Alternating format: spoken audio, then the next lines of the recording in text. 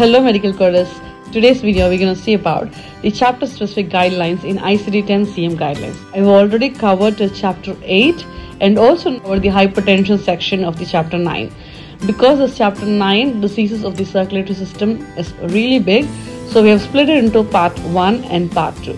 So in today's video we'll be looking into chapter 9 diseases of circulatory system I00 to I99 under that, we'll be covering atherosclerotic coronary artery disease and angina, intraoperative and post-procedural cerebrovascular accident, acute myocardial infarction, which is AMI, in this part 2 of chapter specific guidelines, chapter 9. Let's get started.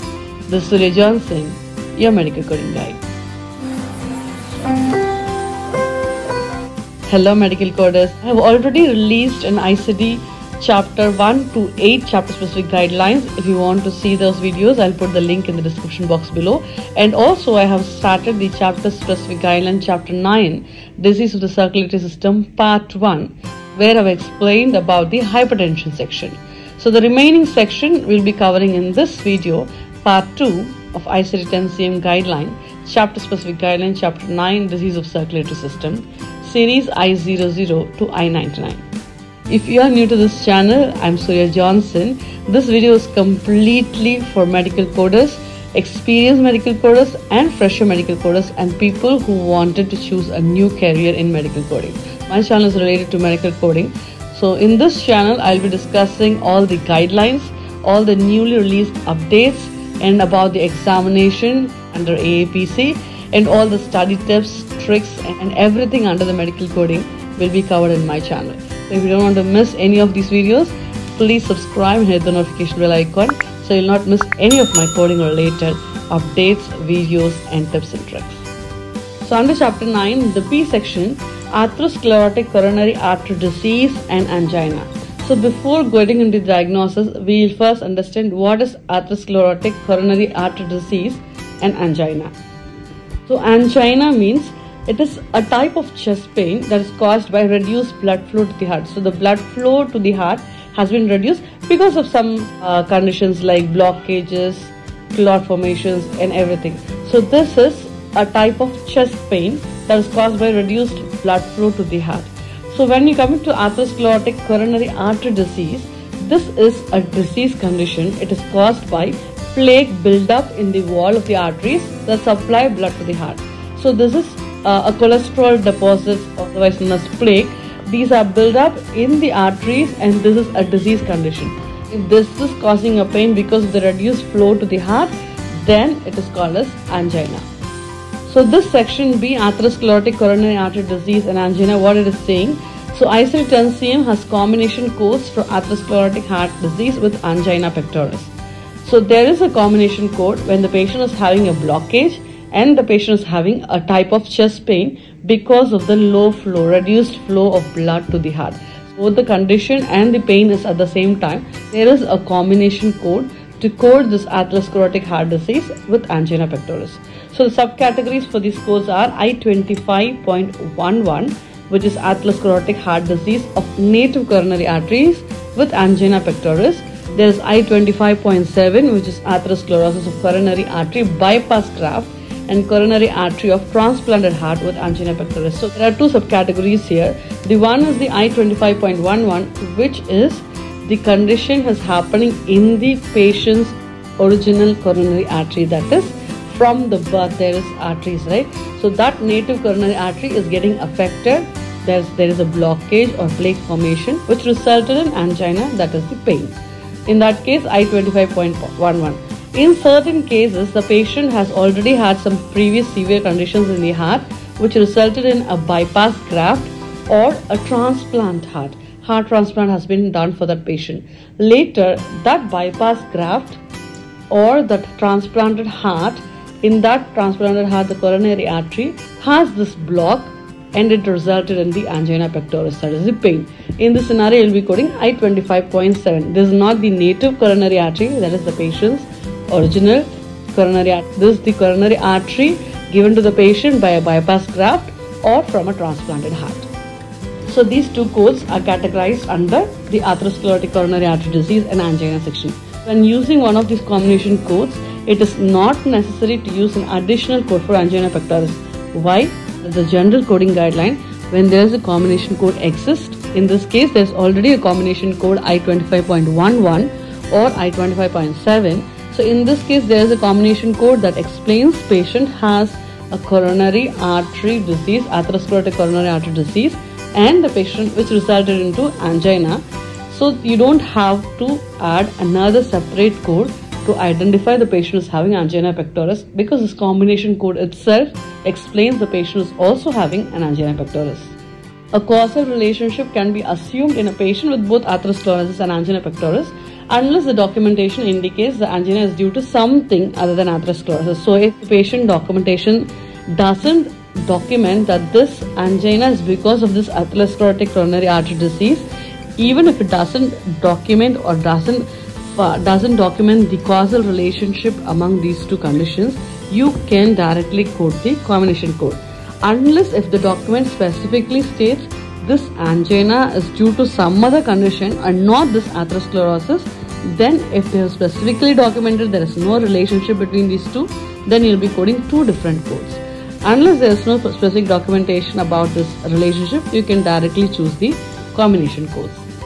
So the patient having the coronary artery disease, if the patient is admitted due to an acute myocardial infarction, that is AMI, then the AMI should be sequenced before the coronary artery disease because this is also the general coding guidelines. If you have not watched my general coding guideline video, I'll put the link in the description box below because we should first be clear in uh, general coding guidelines before the chapter specific coding guidelines because without general coding guidelines we will not know or will not understand what the chapter specific coding guidelines is talking about so this talks about if the patient is admitted due to an acute myocardial infarction or and the patient is already having a coronary artery disease. In this scenario you'll be coding the AMI first because that is the reason for admission. Got my point right?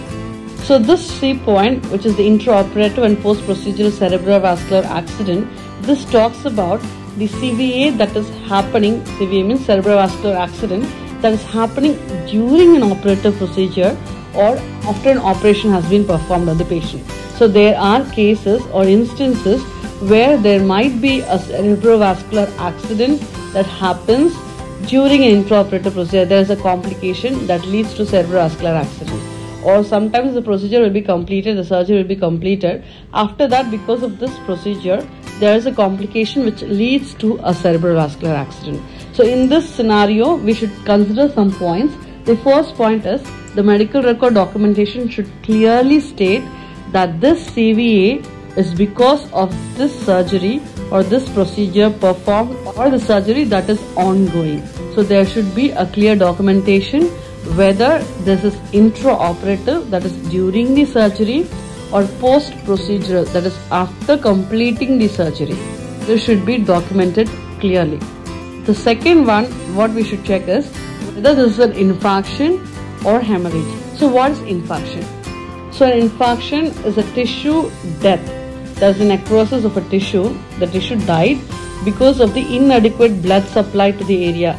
During this procedure or after the procedure, the tissue died because the blood supply that is going to the tissue has been affected. So there is no proper blood supply or inadequate blood supply to that affected area. This is called as infarction. So what is hemorrhage? Hemorrhage is a blood leakage or an escape of blood from the ruptured blood vessel. So there are blood vessels, right? There is a minute rupture. Rupture means breaking breaking of the blood vessel, very minute or very serious breakage of the blood vessel, which resulted in escape of the blood from that blood vessel. So the differentiation between hemorrhage and infarction. The document should support whether it is an intraoperative during the procedure or post-procedural cerebrovascular accident and then it should document clearly whether this is an infarction or a hemorrhage and if this hemorrhage is a cerebral hemorrhage there are types of codes that depends on the procedure performed. What kind of procedure is performed that resulted in this cerebral hemorrhage?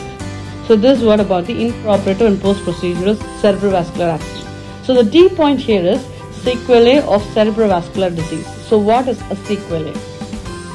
So a sequelae means it is a condition which is a consequence of a previous disease or injury. There is some disease or an injury that has happened previously Now, after few days, few months, few years, there will be a condition generating because of that previous injury or previous disease that has happened to the patient.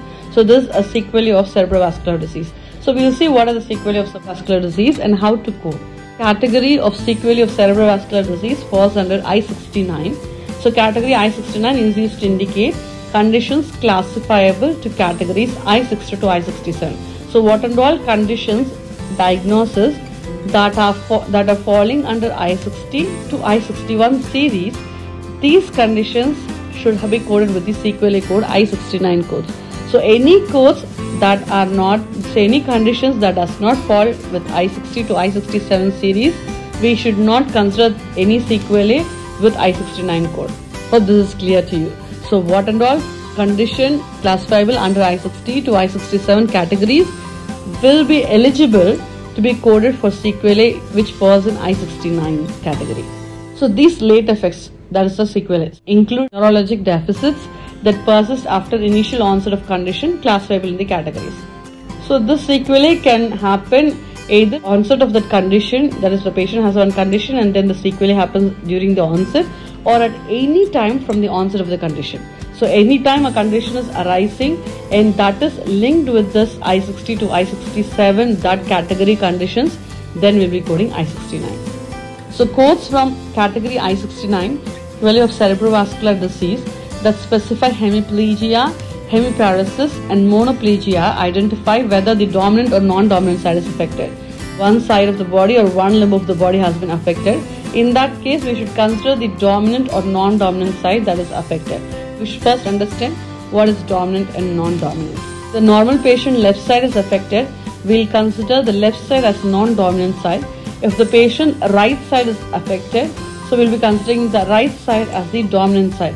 So there are patients who are ambidextrous patients. Ambidextrous means they can use both the side of the body effectively. Same effort, the same capability of the right side is equal to the same effort and capability of the left side of the patient. So this patient has the capacity of both the sides working with the same vigor and strength. In this patient is called as ambidextrous patient. So for those patients, which side is affected? The dominant side.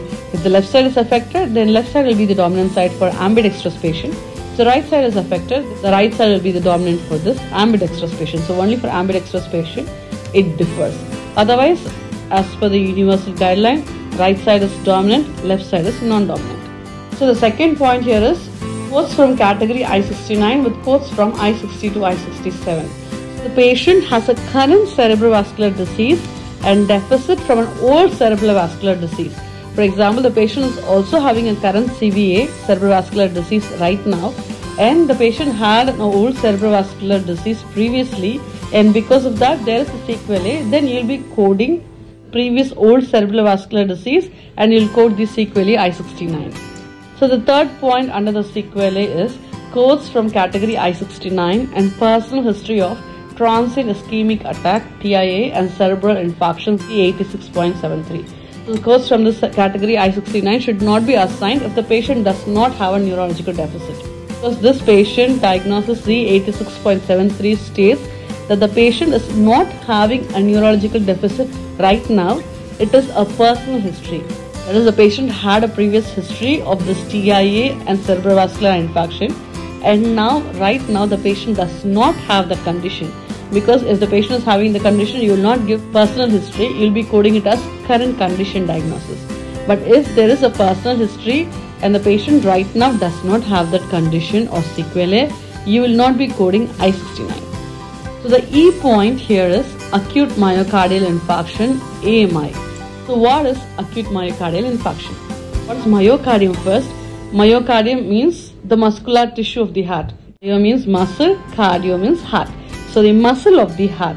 Myocardial infarction means a myocardial necrosis. Necrosis means death of the tissue. If you want to understand all these conditions, these medical terminologies, I highly recommend you to go and watch my medical terminology video where I have given you the breakdown and how to understand and study because we are not doctors. In this scenario, how to remember all these conditions, how to understand what does that mean. Most of the medical terminology, if you understand to break down the medical terminologies and understand the meaning of each breakdown will be very much helpful for you not only in the exam in the long run even in your workplace you don't have to always go google or ask your seniors or ask the help of others for small conditions or the names or whatever it is. If you know how to study the medical terminologies that would be helpful for you in the long run. And that differentiates you other coders. So you want to be a special coder try to learn medical terminologies. So if you're confused how to learn, I've already posted a bunch of video on how to learn the medical terminologies, the prefix, suffix, root words, how to learn, how to understand and each system wise, each organ system wise I've released a video previously. I put those links also in the description box below so you can watch them. So let's get back to this. Acute myocardial infarction. So what's myocardium? As I said, let's break down. Myo means muscle, cardio means heart. So the muscle of the heart, heart muscle. Necrosis means death of that tissue. So death of the heart tissue which results from acute obstruction of a coronary artery. So there is an obstruction. Obstruction means a blockage in the coronary artery. This leads to seizing of the blood supply. That is stopping the blood supply to a particular heart tissue which resulted in that heart tissue to die, necrosis. So this is called as acute myocardial infarction. Under that we have first one type 1 ST elevation myocardial infarction which is called as STEMI and non-ST elevation myocardial infection which is called as NSTEMI or non-STEMI. So what is the difference between STEMI and NSTEMI? STEMI means it is a heart attack with a completely blocked coronary artery. So the coronary artery is completely blocked and it is very severe. So what is non-STEMI? Non-STEMI is also a myocardial infarction. It's a type of heart attack only but it is less severe and it causes less damage to the heart compared to STEMI. So type 1 ST elevation myocardial infarction STEMI and non-ST elevation myocardial infarction NSTEMI or non-STEMI. The subcategories I21.0, I21.2, I21.3 these are used for one uh, type 1 ST elevation myocardial infarction STEMI. So for the non-ST elevation non-STEMI or NSTEMI we'll be coding I21.4 so only one code because for uh, STEMI or type 1 we are identifying the site. That's why there are three codes for non-STEMI it's direct. And also the non-ST elevation myocardial infarction type 1 code I21.4 you'll be coding also for non-transmural myocardial infarction as well. So if a type 1 NSTEMI evolves to STEMI so for example the patient now has a non uh, ST elevation myocardial infarction that is the NSTEMI that is very less severe. Then later the patient condition worsens and it evolves to STEMI which is a very severe condition where the entire coronary artery is being blocked. So in this scenario you will be going for the STEMI code because it is no more NSTEMI it has become it has evolved into the next stage which is the STEMI stage. So if a type 1 STEMI converts to non-STEMI due to thrombolytic therapy, it is still coded as STEMI. So first scenario we saw, if the type 1 NSTEMI evolves to STEMI, we'll code the severe one STEMI. Vice versa, what will happen if the one type 1 STEMI is converted to NSTEMI because they did some therapy, for example thrombolytic, thrombolytic therapy. After doing a therapy, the severity reduces and it becomes an NSTEMI even in this scenario, you will be coding it as STEMI. The patient will be considered severe only. And all we can code the myocardial infarction. Patient is having a myocardial infarction. From then, the patient has been transferred to an acute setting or post-acute setting. The treatment is ongoing. Now it is four weeks already from the onset of myocardial infarction. Now the patient, uh, the week is already four weeks. So up to four weeks, you can code from the category I21 series only you can continue to code up to 4 weeks. So after 4 weeks, so for the encounters after the 4 week of time frame and the patient is still receiving care related to that myocardial infarction. The same myocardial infarction, the patient is getting treatment, is getting all the related treatment after 4 week of time frame. So like 5th week we can say for example. So on the 5th week, the patient has been treated for the myocardial infarction. That time We'll be coding in that scenario the aftercare code. Appropriate aftercare code should be assigned for myocardial infarction. You will not be coding again from the I-21. So, so for the old or healed myocardial infarction, for say an example, the patient uh, had a myocardial infarction like for a few months back or few years back, it becomes an old myocardial infarction. Or the patient current myocardial infarction, say like fifth week or sixth week, it has been healed. It has been healed completely. So there is no more further care required for the old case and for the acute case also more than four week time. There is no more care treatment needed because it has healed completely. The patient is okay again back to normal completely. In this scenario, you will be coding I25.2, which is old myocardial infarction. So next second point under the myocardial infarction, unspecified acute myocardial infarction. So we'll be coding code I21.9. So code I21.9 acute myocardial infarction unspecified will be the default code if the acute uh, myocardial infarction or the type has not been specified. So if only type 1 STEMI or transmural MI without the site is documented, then you can code I21.3 ST uh, elevation STEMI myocardial infarction of unspecified site. So in general, nothing is mentioned, only acute myocardial infarction is specified, then you'll be going with I21.9. So the third point here is AMI documented as non-transmural or subendocardial but site provided. So what is non-transmural? or subendocardia. So if you know the answer or you don't know the answer, go to the Google, search it and put it in the comment section below. What is non-transmural? I want the exact definition or the meaning of that medical terminology. Non-transmural and also subendocardial. So if an AMI is documented as non-transmural or subendocardial, but the site is provided, it is still coded as the subendocardial AMI.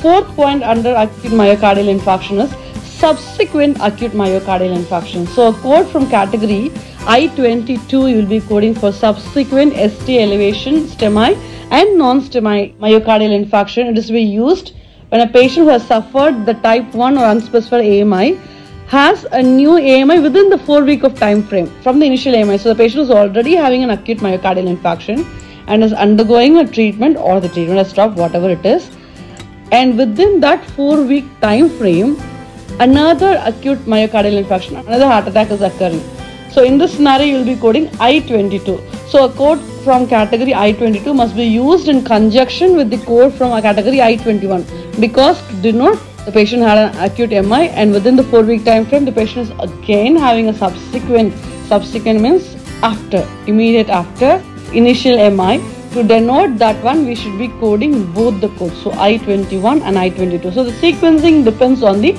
circumstance of the encounter do not assign code i22 for subsequent mi other than type 1 or unspecified subsequent type 2 acute myocardial infarction we'll be assigning only code i21.a1 so for subsequent type 4 or type 5 assign only code i21.a9 subsequent AMI after the type 1 or unspecified AMI should be coded with I22. Just remember that one. So if a subsequent MI of one type occurs within 4 weeks of a myocardial infarction of a different type, assign the appropriate code from the category I21 to identify each type. Different type of MI is occurring in the subsequent period apart from the primary MI. First acute myocardial infarction is a different type then the subsequent within that four weeks of time frame, right? The subsequent myocardial infarction is totally a different type. In that scenario, you'll be coding I21 identifying each type, not the I22. So do not assign code from I22. Codes from category I22 should be only assigned if both the initial and subsequent myocardial infarctions are type 1 or unspecified. So the fifth and the last point under acute myocardial infarction is other types of myocardial infarctions. So the ICD-10-CM provides codes for different types of myocardial infarction. So the type 1 myocardial infarction is I21.0 to I21.4. Type 2 myocardial infarction, which is myocardial infarction due to demand ischemia or secondary to ischemic imbalance. So what is ischemia? So ischemia means it's a condition in which the blood flow along with the oxygen. So we all know blood carries oxygen. So when there is a restriction in the blood flow, it is reduced, then the oxygen level is also restricted. So whenever there is a restriction of blood flow and oxygen, a part of the body we call as ischemia.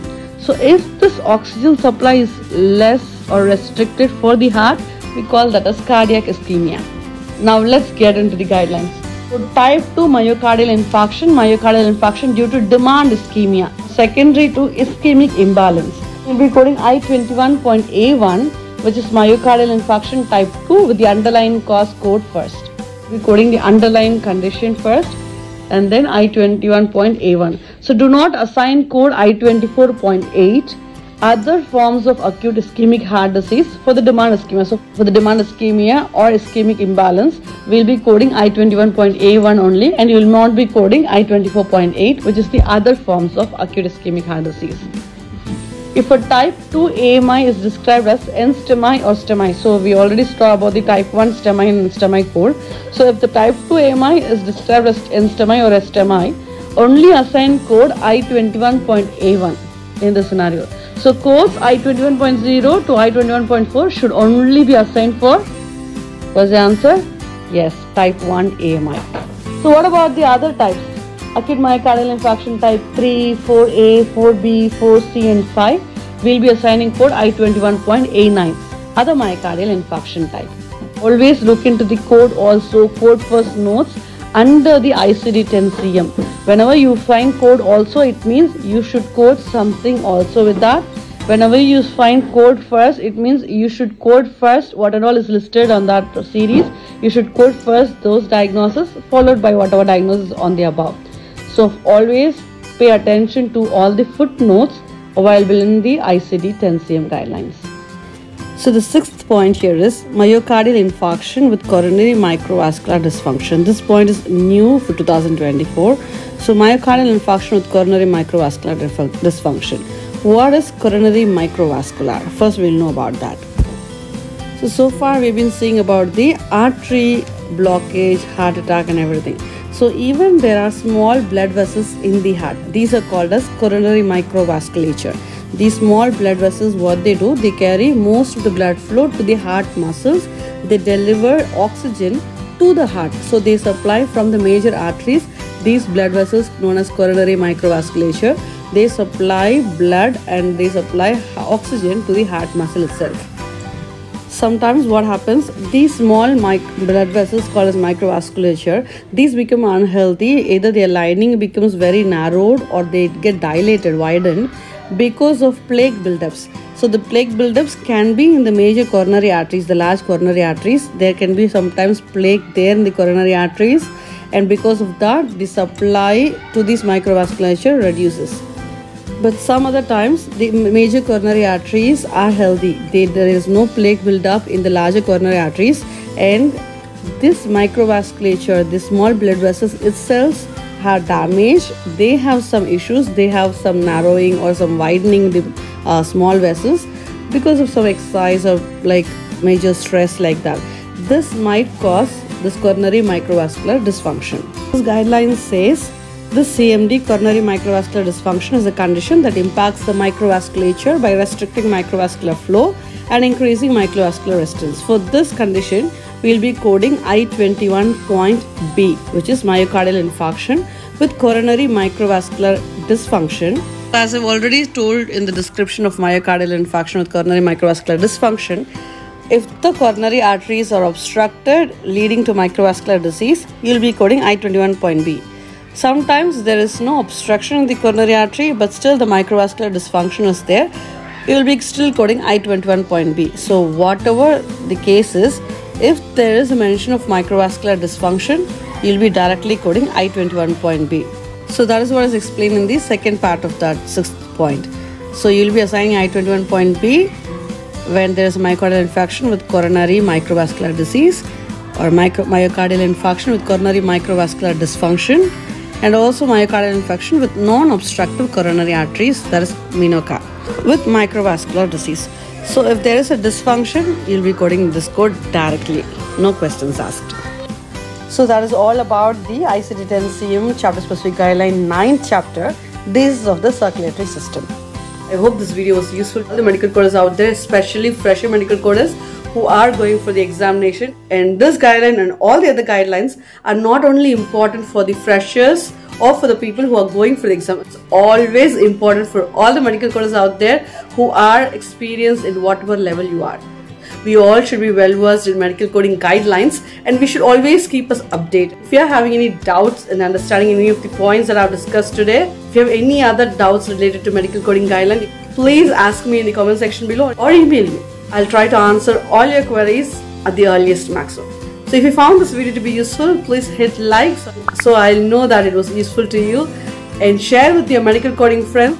If you're new to this channel, if you're not subscribed, please subscribe, hit the notification bell icon so you'll not miss any of my medical coding related video. You can always follow me in my Instagram page and my Facebook page.